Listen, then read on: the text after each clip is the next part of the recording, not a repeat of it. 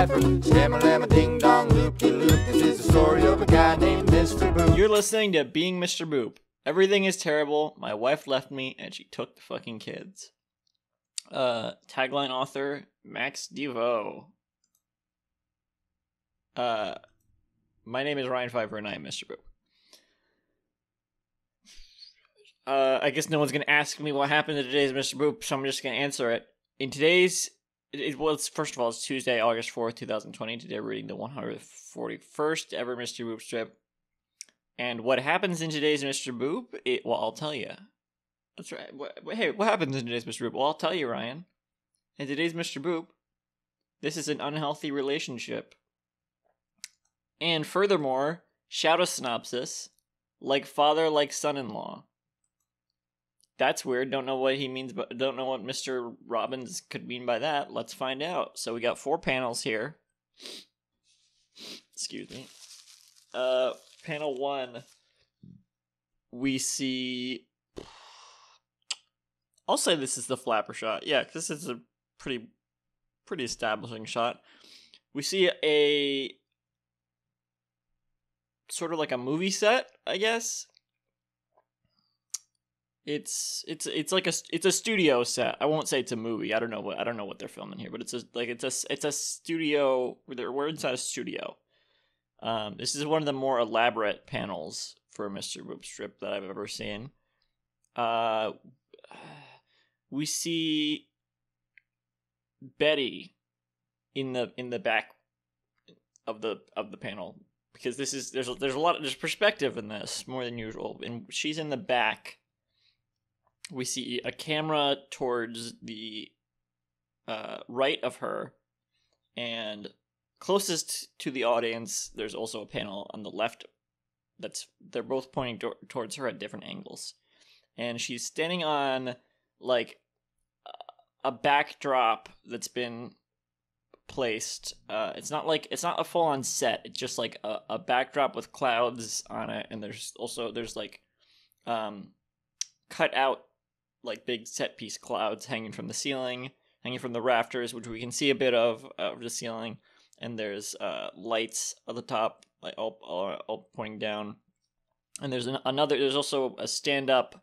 Um, I don't know what you would call it. It's, it's one of those like um, it's it's one of those like box lights. Is that what they're called?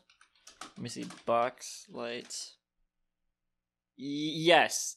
If you Google box lights, that's what comes up. So lighting boxes. So it's it, it's used for production. There's things like this. Uh, and it's it's right next to her. It's like pointing right next to her. If they were, I mean, it looks like it's in the way of of the camera on the right. So, uh, that's I don't know why they put it there. That's that's kind of that's sloppy filmmaking. Uh, and she's just kind of standing around. Her arms are together, but she's really far away. We can't really see why her arms are together. Oh, and she's wearing an angel costume. I forgot to mention that. She's um, not in her usual Betty Boop outfit. She's, she's got angel wings, and her dress is white and, and more flowy. I guess it's usually colored white. Maybe is it? Uh, hard to tell because I only see her in. Well, anyway, uh, and she's got a, a, a halo uh, above her head. It's not floating through magic. There's a little stick holding it. Oh, and there's a speech bubble coming off from the right, uh, and it's above her head, but it's it's coming off from the right, and it says "Take five, every." I assume this is her dad, the titular, not titular, Mister Boop, saying this. We have to say the full title now. Uh, when we were saying his name, uh, I assume it's her dad saying this, so he says, Take five, everyone! Two electro points. Oh, by the way, so the the camera on the right, not a lot of it's it's it's far away. It's it's like it's it's like the size of Betty. It's like it's not close to us, so we don't see a lot of detail. But the the camera on the left, which is close to us, we see a lot more detail. We see like knobs on the the spools. These are like old timey, like generic, like uh, cartoon type cameras, like the really really old, like the type if you were draw if you were making a, a logo with a with a ca- with a camera in it for for for a filmmaking uh, company or channel or whatever, it would probably have this, you know, with this those spools of film, that type of camera, um, and but it's not. I wouldn't say it's old timey because it's because the the the the body of it is still has like buttons and shit on it. So it's just, it's like a I guess it's a modern film camera probably. I'm not, I don't know. I don't know what they would what a, a film type camera would look like now with that, but I assume it would look similar to this still. I'm not sure. I've never been on a set or anything. They're both on tripods, also, obviously. Um, panel two, we get a cl- a closer. We we we we kind of pull in to see to see Betty more, but we don't see any more in the background. The we don't. The the first shot was so elaborate he just didn't bother drawing the background at all for the next three panels. Um, so we see, but we see Betty in a bit more detail. We see more feathers on her wings. We see, um, like the upper part of like the the I don't know what you would call this part of the dress. The like the upper torso part. You you you, you know what I'm talking about. Um, it's it's like fluffier than the than the flowy the rest of the part of the dress. Um, and she's still wearing her earrings. So, you know, there's that. Um, I think she she usually wears bracelets, right? She's not wearing bracelets here. She's wearing handcuffs. That's why her arms are together. They're handcuffed together in front of her. Uh, we also she's so she's on the right of the panel. We also see her dad, the titular, not just driller, Mr. Boop, on the left of the panel. Um, I think this is the first time we've seen him standing up, maybe, unless he stood up in the divorce encounter. Or, yeah, I don't know. I, we usually see him at his desk. I think so. I feel like this is the first time we've seen him not at his desk. I'm not going to go back and check because that would distract from the podcast. I don't want to vamp for me. Um, but he, he has his hands together, but it's not quite the whatever that character on Neon Genesis Evangelion's name is. Uh, pose. It's not quite that pose. He's just kind of wringing his hands. It looks like, or it's it's kind of like a. It's kind of a mix of like wringing. It, it, it kind of both has the vibes of wringing his hands like evilly, but also like um, clasping his hands together like a, a proud father. So that's that's an interesting mix of those of of that. Um, I don't know if it was intentional or not.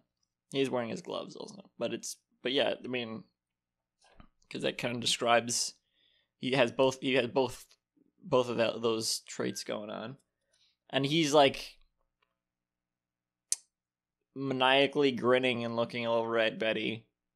Um, and he said he's got a speech bubble that says, "So, Electries, how are you enjoying being home, my dearest?" Electral heart. And Betty is um looking angry and grimacing and, and looking over at him, and she says, "I'll never forgive you for this." Electro point. Um, panel three. We cut uh, we cut in even more we, we, we zoom in even more. It's just the titular, not titular Mr. Boop. So we don't see Betty anymore because it's it's zoomed in further. Um, and he's this is an interesting expression. Um, well, first of all, he has he's he's doing like with his hand up to he he does one of his hands up to his chest in a like who me type type position like um that's kind of his expression in general, but not that's not what he's doing. Um, he, it's it's almost like he's doing like a a poggers face. I hate to say it, but that's kind of what it reminds me of. Um, but with but with like ten times the teeth. Um, we see all of his teeth almost. I I would say to a to an extent that should not be possible the the extent we see his teeth are should not be possible. This is a very very strange expression. Um, and his his expression is so tall that it kind of it's having hard. He's having a hard time fitting in on his face. Um, just a little bit. And he's got two part speech bubble that says, "Oh, I don't care if you forgive me or not. As long as you're by my side, I'm happy." Electro point. Honestly, three electro points. Panel four, I would say we zoom in a little bit more, just a little bit more, because we, we don't even see any of his arms. We they're both down, and um, so it, so it's cut in a little bit more, and he grins at the camera and basically does the wife face. He does his equivalent of the wife face, and I and I and I know I can I can tell that's what it's supposed to be because uh, the shadow synopsis was like father like son. So clearly he's he's he's like he's given the the the not the the titular actually titular Mr. Boop energy, the Mr. Robbins energy now. Um but without the depression. The old whatever. You know you get what I'm saying. Uh he's giving the he's like giving the wife face at the camera. He's mugging for the camera and doing the wife face. But I guess in this case it's the daughter face and he's got a thought bubble that says, "I love my daughter, Betty Boop." 3 electro points. Um weird okay. This is okay. First of all, there. So the fact that they're they're filming this on a set, like uh, we we know that we should, we, they they needed her to film the. I guess we kind of already knew this. They needed her to record the, the to film the new cartoons, and that's what they're doing. Um, but this is like basically Garfield gets real uh logic. I guess I guess some people might say may, may say Who Framed Roger Rabbit. Okay, sure, that works too. Actually, we'll say we'll say Who Framed Roger Rabbit. I don't know. I don't remember how. It's been a while since I've seen that. I know the uh, Who Framed Roger Rabbit starts with um them filming a cartoon, right? And then and then it's like and it's like cut, and then we see like the set and stuff and everything. But I can't remember if the set after that was remained like a cartoon. I'm trying to remember how Who Framed Roger Rabbit went. So I know um, Eddie. No, I'm not. I'm, all right, I won't. You know, it's an old movie. People will people will be like, "Eh, spoiler." Uh, spoiler. Um. Uh, whatever. It's it's up. You can spoil it. Whatever. Um, and this is not a big spoiler. It just says what happens later in the movie. But I'm not going to do it. I'm not going to do it because if you haven't seen it, you should be able to enjoy it still. That's what I believe. Um, but we see more cartoon stuff later on. But I don't remember if we see it in the beginning, if if we see them in front of like a cartoon set. This is not a cartoon set. This is like a physical set. This reminds me more of the Garfield gets real type thing. I guess okay. No, it, it is more Who Framed Roger Rabbit because that I just I'm just remembering now that's comic strips, so that doesn't really make sense. Except I mean this is a comic strip, but they're not filming a comic strip. They're they're they're filming cartoons, which is not a thing you need to do, but in this world you do. So this is Who Framed Roger Rabbit type um, logic, possibly Kufla, uh, possibly uh, Chip 'n Dale Rescue Rangers type logic. I don't know. That movie's not out yet, so who who knows how that's gonna be. I hope it's good. I like the Lonely Island. Um, people, people keep like, uh, I, all the criticism or, or whatever, all the talk I see of that movie is like, people, uh, people seem really skeptical about it because it's Disney. But in my mind, I'm not seeing it as a Disney movie. I'm seeing it as a as, um, I think it's directed by Akiva from the Lonely Island and starring Andy, and I I assume Jorma probably worked on it. So to me, it's a Lonely Island movie, and I trust I trust the Lonely Island. Um, I don't trust Disney, but I feel like I feel like it's the Lonely Island division. Maybe Disney like wouldn't like give them the budget for full 2D or whatever, and like and like maybe force them to put stuff in. But I don't know. Whenever I see like, I've seen like criticism like, oh my god, they referenced uh this this thing, even though Disney did all this stuff, and like, well, they Disney may have done this stuff, but I, I mean, and it is Disney's movie, but I'm but like I don't know, they the Lonely Island they can't help that. The people who made the movie they can't help what Disney's done in the past. They that's not. I mean, I guess they they they should have known, but I mean, I don't know. Uh, whatever. I, uh, I'm not. Tr- I'm not. I'm not trying to defend it. I was just saying my thoughts here. I think the movie looks interesting, and I trust Lonely Island. Um, but we'll see if that is another situation like where they're Who Framed Roger Rabbit situation where they're filming uh cartoons Who Framed Roger Rabbit style or Mr. Boop style. Um Mr. Boop the world of Mr. Boop is interesting because not all characters it seems not all famous cartoon characters in the strip do have this history. Like Betty Boop is a famous cartoon star, and that she films cartoons like this, or she did. Popeye, as well. Um, when we we we uh, alluded to him a little bit, I I've lost count on my Popeye reference uh, sheet. I'm gonna have to update that. I'm gonna have to look up. I had a sheet on the spreadsheet that had that. Um,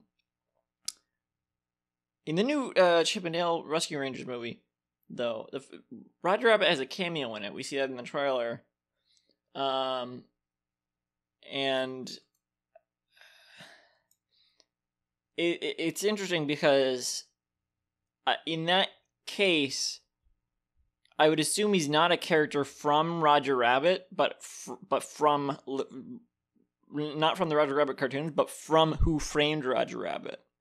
So it's not exactly a sequel. It's like because in the universe of this movie, I would assume of this upcoming movie, I would assume he's from Who Framed Roger Rabbit and not from the cartoons within Who Framed Roger Rabbit, which did not really exist in real life. Except they did a little bit afterwards. I, I remember my Who Framed um my Honey I Shrunk the Kids VHS. There was a Who Framed Roger Rabbit cartoon. I think they did that for a little for a few other Disney releases. That might have actually been when in the theater for uh, Honey I Shrunk the Kids. There might have been a who Framed Roger Rabbit cartoon. That's interesting though, because Who Framed Roger Rabbit came out in 1988. Honey, I Shrunk the Kids came out. Oh, the next year. Okay, so maybe 1989. Um. Anyway, so there's that aspect of it. The filming the cartoon aspect. That's that's you know that's interesting. Um. There's also the weird relationship. Uh. Mr. Boop, the the titular not titular Mr. Boop has his daughter the fact that it's reminiscent of Alec, her husband, and he's her father. That's there's some weird stuff going on there. Um, I don't think it, it there's. I mean, I don't think there's anything weird going on. I mean, it, it it it's it's weird. The way it's being presented is weird. Is the thing, but I don't. I'm not really getting the impression that I, I, I think I think it is. Um, I'm not gonna say innocent because he is he is kind of holding her there against her will, so that isn't innocent. Um, I'm trying. I'm, I'm kind of I'm like dissecting this here. Um, the, I mean, it is an unhealthy relationship. I, I we did say that, and that's that that it is. Uh, it's weird that he's kind of it. I, I, I'm whatever. I'm just saying the same thing here, but it's it's weird that it's weird that he's doing the the wife face. That's the weird thing. That's the weird thing. That's the weirdest part about it.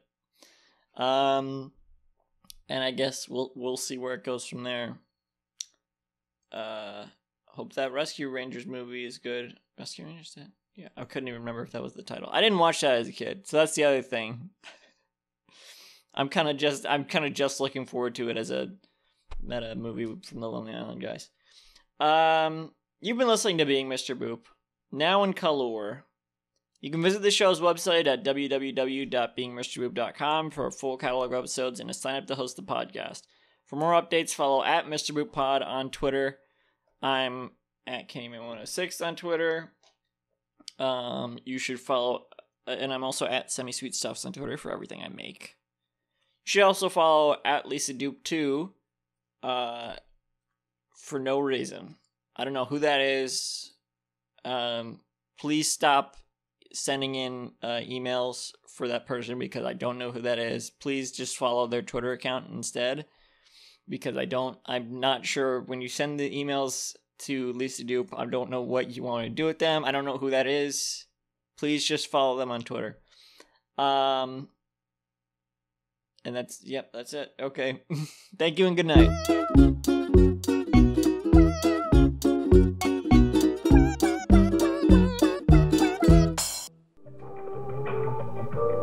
This podcast was brought to you by the Pitch Drop Podcast Network.